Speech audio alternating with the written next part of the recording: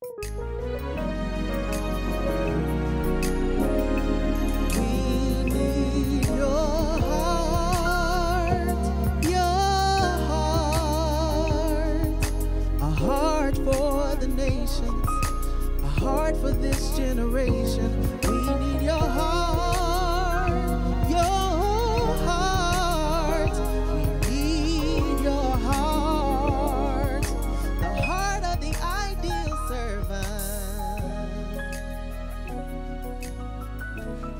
16, you got it? Look at verse 15. And he said to them, Go into all the world and preach the gospel to every creature. He who believes and is baptized will be saved, and he who does not believe will be condemned. And these signs will follow those who believe. In my name they will cast out demons. They will speak with new tongues. They will take up serpents. And if they drink anything deadly, it will by no means hurt them. They will lay hands on the sick, and they will recover. Amen. And we want to focus in on verse 15 go into all the world. Look at your neighbor before you're seated, maybe two of them, and say, It's time for world invasion. Amen. Well, you just did the second person an injustice because I heard you kind of whisper it to them. You're supposed to tell them all, it's time for world invasion. Amen. We began sharing this with you uh, a few weeks ago about world invasion, and this would be part three for those who love to take notes. But it is it is every we got to understand that every believer, say every believer, has been called and equipped to invade the kingdoms of this world, and the purpose of it is for transformation. You cannot transform something if you are not being transformed. I'll say that one more again. You cannot transform anything if you're not being transformed by the renewing of your mind. That means you're going to be in a process that the Spirit of God is developing you, and you can't bail out the process. Amen. Everybody say, He's taking you somewhere. At least tell that to your neighbor. He's taking you somewhere. Go over to Luke chapter 19. Luke chapter 19. I want to read another verse of scripture to you because this is time, this is the time for world invasion. We told you that there are several worlds. And when the Lord said, Go into all the world and preach the gospel, He wasn't just talking about go around the globe and preach the gospel. We've been kind of stuck on that. Um, uh, we have to do that, but that's not all there is to it.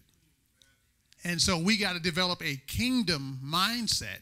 If we don't develop a kingdom mindset, we will X out what the Lord is interested in, and it's called nations.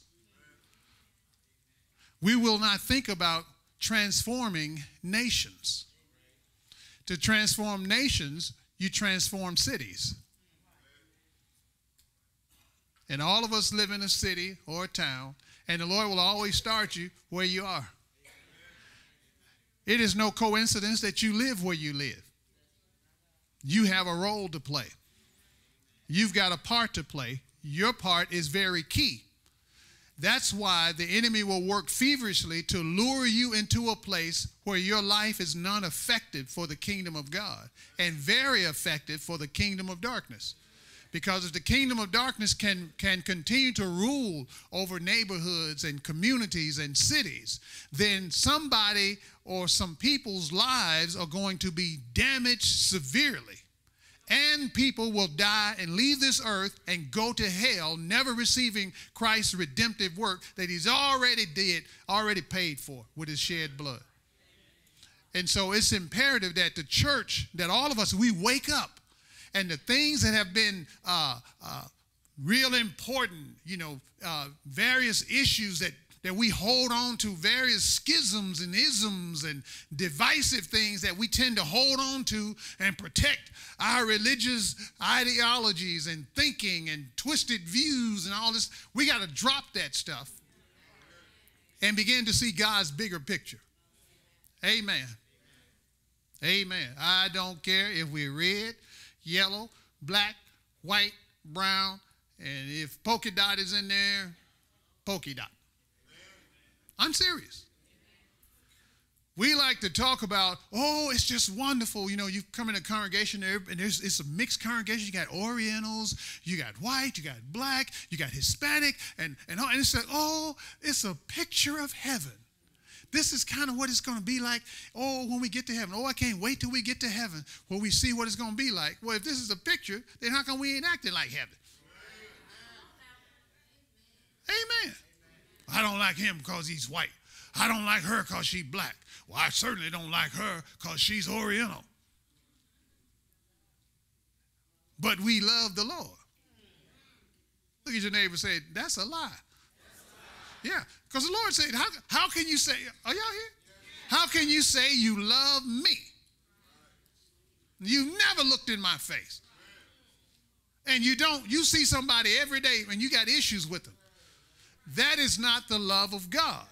The love of God has no strings attached to it. And so there are a lot of little, I call them little, uh, from God's perspective, they're little, but they have big, devastating effects. A lot of things that are holding the church in bondage. And the enemy is glad about it. And he's going to try to reinforce it because that makes us non effective. When we don't think kingdom, we start protecting our little shop. And we start trying to promote us. Yeah, it's this church right here. See, we ain't interested in nobody else's church. We just interested in ours, the vision that God has given to us and I want to oh I want to play I want to have a great big place so we can we can we can be large and people know who we is. Oh, they got all kind of ministry coming out. They got all kind of ministers. Oh, they can preach, they can sing. Oh, they can turn things over. And you know what happens? All of that is good here in the earth, and it has no eternal value. Because we what we did was not uh, in line with the big picture. The big picture is about taking whole cities and transforming them where it's that whole city becomes a light lit up with the glory of God. Amen. Luke chapter 19. Look at verse, well, look at verse 9. Let's pick up there. Well, verse 8. Then Zacchaeus, y'all know about Zacchaeus, little short man, who um, uh, he was a chief tax collector. That means he was not liked to the 10th degree. yeah, he was a chief tax collector. The, the religious folks didn't like him, and everyday people didn't like him. Come on, you don't fall in love with the tax person. You get a letter from, from the tax place, you, you don't say, Well, praise the Lord. You be like, Oh, God. Yeah, Lord, yeah. Tell your neighbors, take that old spiritual hat off your head. Then Zacchaeus stood and said to the Lord, Lord, look, Lord, I give half of my goods to the poor, and if I have taken anything from anyone by false accusation, I restore fourfold. Now, don't nobody like it. And the Lord, he got, he climbs up into a tree so he can see the Lord. The Lord's coming coming down the street. You know, there's a big parade. Everybody gathered around him. You know, all the local big shot pastors. You know, uh, everybody got a ministry. You know, everybody that's that's that's, that's you know whoever, everybody that's somebody in town. They in the, they they they traveling along with the Lord. So it'll be known that I'm with him. Even the haters are traveling. And then Zach, Zacchaeus, he's short, so he's trying to figure out which way they're going. He, he wants to get a look at him. So he climbs up in the tree. The Lord comes by there and looks up at him and says, Hey, Zach, I got to come to your house today. Messed everybody up. What you going to do? Y'all know how we do.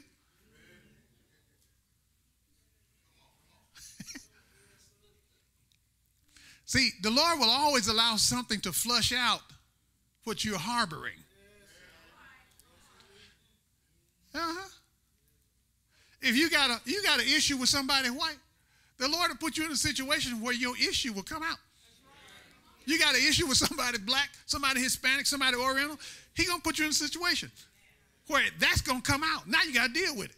Because as long as we're harboring it, we deny it. Oh no, I love everybody. No, you don't. Come on now. You got people that look just alike, same skin color, that don't like each other.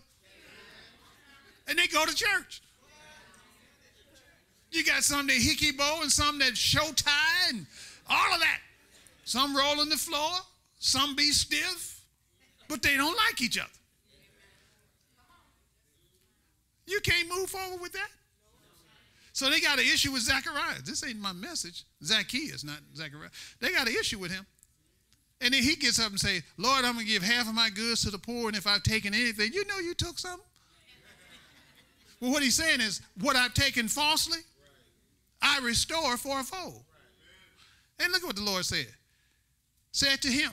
He didn't to everybody, he said to him, Today salvation has come to this house because he also is a son of Abraham. Wait a minute. Everybody else trying to kill him. He's in the presence of the Lord, and the Lord saying, Now look, you need to do this, you need to do that. He knew what he needed to do, and he made his adjustment. He repented. And then I'm going to restore. And the Lord says, Salvation has come to your house. What belongs here is now on this house. You don't have to steal now. The blessing is on your house. Because you got all this stuff illegally. Most of it anyway.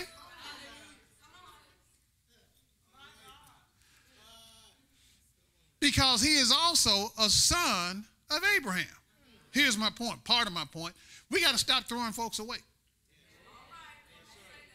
Uh, I, I, can't go to the left or the right to the right because I heard equal mm-hmm, from both sides. We cannot continue to throw people away.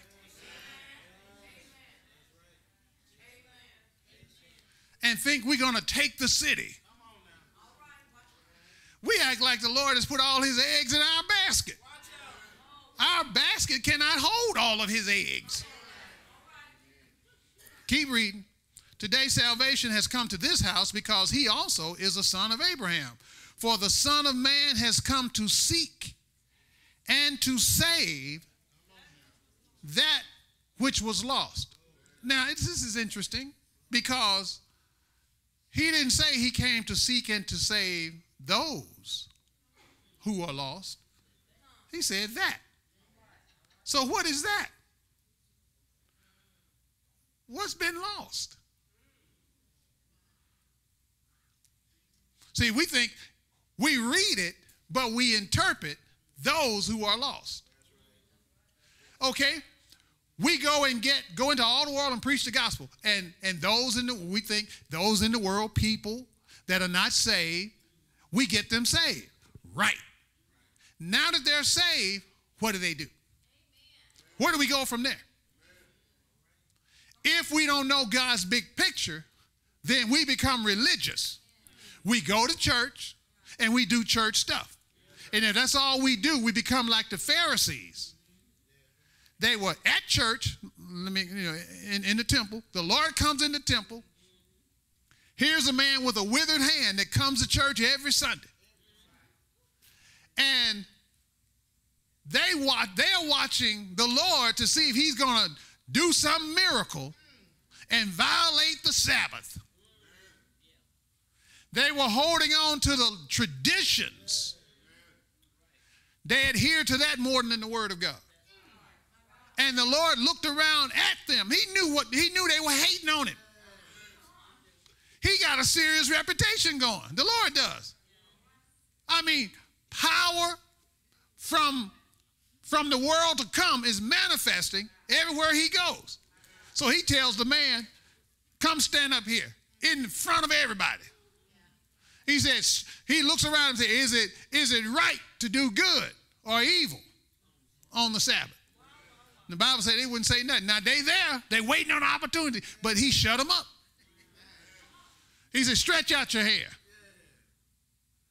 And as soon the man's hand became normal. They didn't say, well, hallelujah, glory to God. The Bible said they got together with some Herodians Some folks that embrace what Herod believes. Twisted, crazy, two faced. Because see, Herod then was, they had a Jewish background. You know what to do, but you like the world better. They got with them. Now they want to kill it. There was a lot more people in church that day. And you know what the Lord did? The Bible say he got his disciples and left and went to the sea. How could you heal the rest of them folks? There was some other folks need to be healed. He just healed the one guy. Because those leaders were not interested in the well-being of the people. They were trying to come against him. They were just simply religious, having church. And in doing so, you grieve the Spirit of God. What does he do? Get up and leave.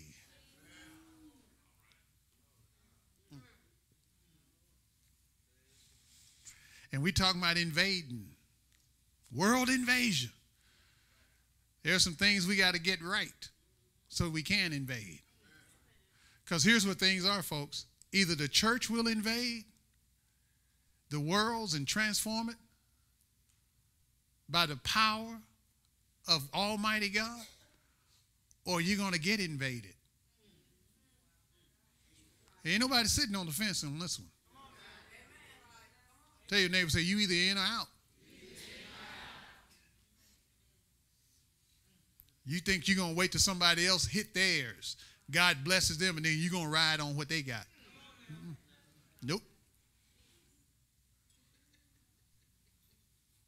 This ain't time to be scared. This show ain't my message. Mm.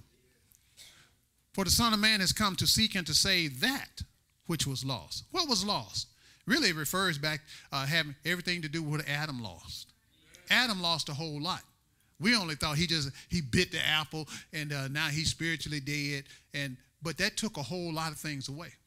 And so if we only think Adam, what happened to Adam was small, then when the Lord Jesus shows up, we think what he did was small. We don't see the magnitude of it. Therefore, we have no appreciation really for what he's done we push him into a category that those who are just religious and full of religion have put him in. Oh, yes, he was a great prophet. But that's all he was. That means it was a whole lot of prophets since, since way back in antiquity. There's a whole, been a whole lot of prophets. They're mouthpieces. So if that's all he was, then he's in the category of everybody else. He's not Lord. If he's not Lord, then the worship does not go to him. If worship doesn't go to him, where does it go? So when the body of Christ understands who he is and the magnet, am am I making sense? The magnitude of what he has accomplished, what he has done for us. He did it all. We couldn't do nothing. Not one iota. We couldn't do nothing. We couldn't lift a finger. We were cut off. And if you're not Jewish, we had no hope. We were without a redeemer. We were without a Messiah. We had no hope. So he did it all and then brought us in, and engrafted us in.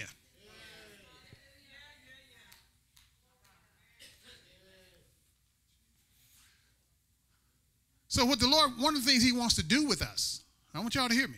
He wants to strip being religious out of us.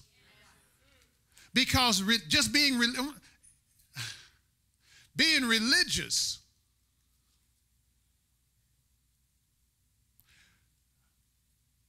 even the word religion comes from the Latin. It means to return to bondage.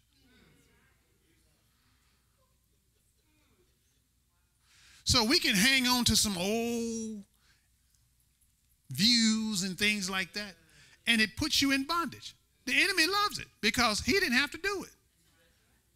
There's nothing worse than self medicating yourself with the wrong medication. Oh, I know what to do. I know what to do.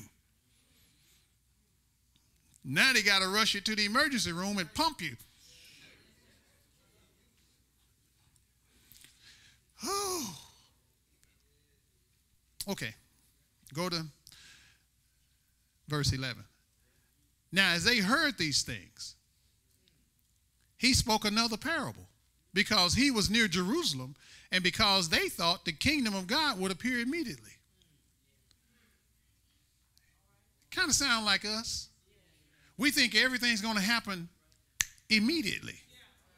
If I expect everything to happen immediately, then if it goes past my expected time, there's no more exercise of patience. The exercise of patience is part of your warfare. Because if I don't exercise patience, yes, sir. Go to Ephesians. We're going to come back here. Go to Ephesians 6.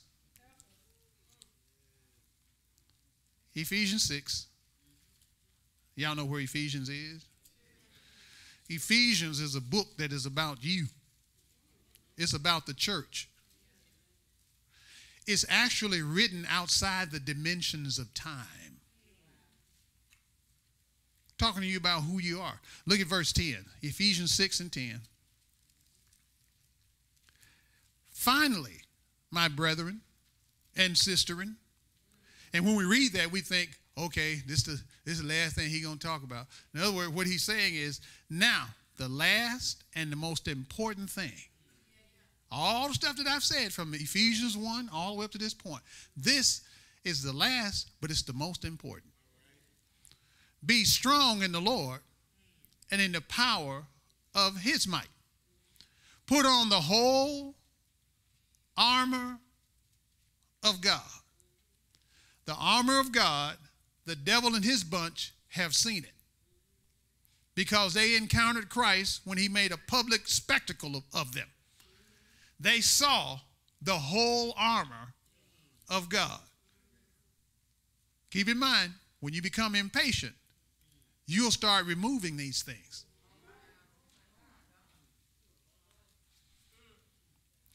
And he didn't say put it on every day. Y'all know Pastor Naomi, y'all, you, you, you're a uh, prophet this morning. Y'all, y'all remember there was a time when folks, they get up and they kind of go through the, you remember Pastor Sean, they go through the ritual. I put on the helmet of salvation and the breastplate of righteousness. I put on the, the, the I gird about my loins with truth and put on, you know, they, and so we go through this putting it on. And I get up tomorrow morning, I put it on. And the question always came to me, well, when did you take it off? So it's like when you get ready to go to bed, you take all this stuff off, like you take your clothes off. So you slept naked. You know what I'm saying? You don't have no armor on. The enemy launches attacks while you you you asleep. I'm not making light of that, but it's like if we become religious in that, we're just doing stuff. Ooh, I feel good. Reverend Fred, I feel good because I put on the whole armor of God.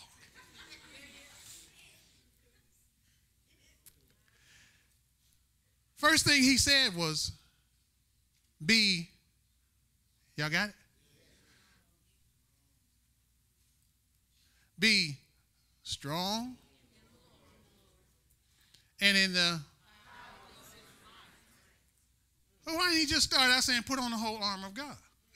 He got to tell you to be strong. Because I'm telling you in a second, it's something about the armor that if you ain't strong, you just standing in it. You can't go to war because you can't handle it. It's not your armor. You don't get this armor down at the 10 cent store. You don't go to, you know, God bless Sam Walton and Walmart, but you don't go to Walmart and get this one. You might get some books written about it, but you don't pick this up and stick it in your grocery cart put on the whole armor of God, or put on the armor that makes you look like God. That you may be able to stand. Uh oh. So it means, it, it refers to if you don't, you won't be able to stand. Remember, I told you, it, ain't no sitting on the fence. This is not going to be a spectator sport. You either fighting, kind of like this movie that uh, about uh, uh, Pearl Harbor. Uh, they, they, showed that when, when, when the uh, Japanese began to attack, it caught the men off guard. Some of them, you know, still had their, underwear on. They just you know they had been sleeping during the day. They were sleeping. I don't know if they had night shifts or whatever, but a whole bunch of them were asleep. And they started dropping bombs and torpedoes and and and shooting uh, bullets from the planes at them. You know, and some of them, there was a group of them, they, they, ducked off over, over here, hide. And one of the officers said, Get up and fight! Get up and fight! They're trying to hide. You've been trained for fighting. Now the fight is here, you're trying to hide. I know you were blessed by that one. There's more coming, and so we want you to stay tuned for this entire series about world invasion. There's so much wisdom, so much insight, and revelation knowledge that the Spirit of God is pouring out. And I want you to get in on all of it because there's no accident that you were born when you were born. Did you notice that the Lord didn't have you born in the 1800s or the 1700s, you know, when those guys wore those uh, curly wigs and things like that? You wouldn't have made it because there's something in you that's engineered for this hour.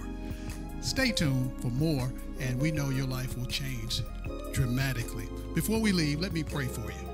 Father, I pray in the name of Jesus that everybody listening to the sound of my voice and watching this broadcast, that their hearts will be turned toward you, where they will begin to realize that they are a world invader, not in their own strength, but by the power of the Holy Spirit. Cause your grace to be multiplied to each one and cause them to discover their place on the mountain they are assigned to by the Spirit of God and make their life most effective. All to your glory. In the name of Jesus, I pray. And I believe this is going to happen. Amen. Listen, stay tuned for more of the heart of a servant, and we know that world invasion is coming your way. Thank you for joining us for the Heart of a Servant, an outreach ministry of Canaan Christian Center in Pine Bluff, Arkansas. If you are in the Pine Bluff area, We'd love for you to join us on Sunday mornings at 10 a.m., for our United Prayer on Tuesdays at 6 p.m., and for our midweek service on Wednesday night at 7. We would also like to give a special thank you to all of our covenant partners. If you are interested in becoming a covenant partner, please visit our website or send us an email we are Canaan Christian Center, praying that you have the heart of the ideal servant.